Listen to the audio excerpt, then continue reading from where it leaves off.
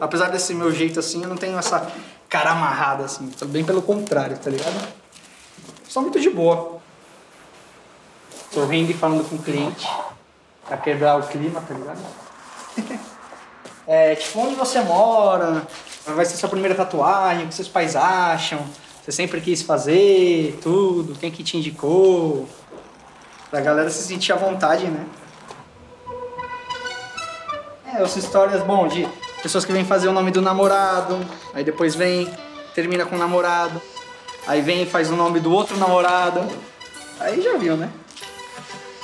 As do meu corpo eu fiz pra quando eu tava aprendendo e depois minha mulher começou a fazer em mim tudo.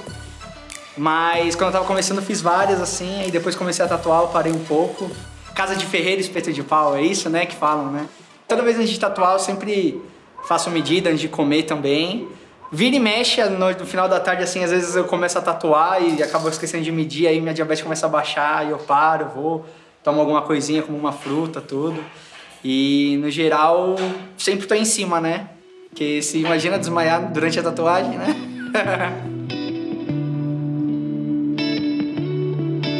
Considero um artista. Fazer isso daqui é bem difícil ao longo tempo e conseguir viver disso é não é fácil. Bem?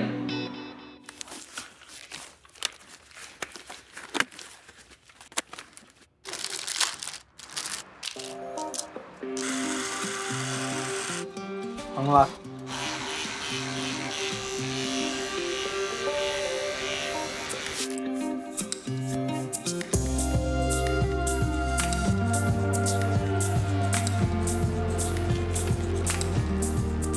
Vou fazer um tracinho, você vai ver qual que é. Vou fazer, vou parar rapidinho, tá?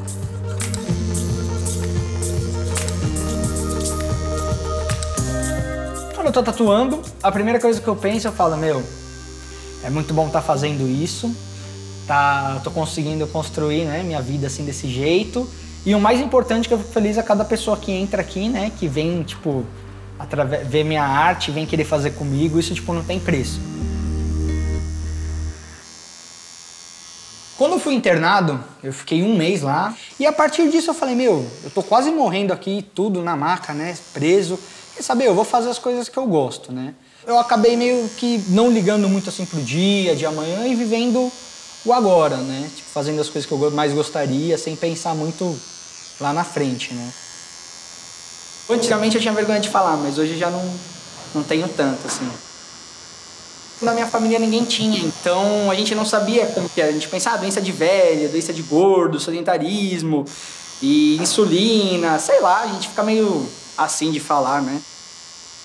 Eu fiquei pelo menos uns 5 anos aí com ela ruim, sabe? Sem estar tá controlada, tipo, na média de 300, 250, 400, 500.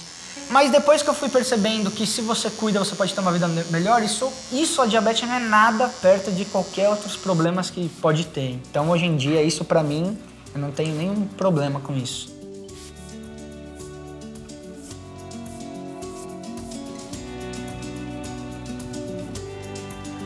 Tá pronto? Prontinho. Você sabe que é a minha primeira. Tô ansioso, hein?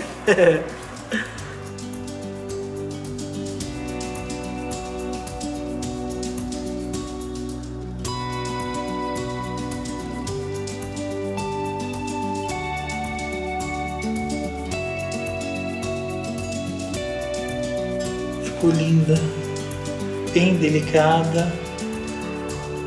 Agora eu tô pronto. Sim diabético. Vambora?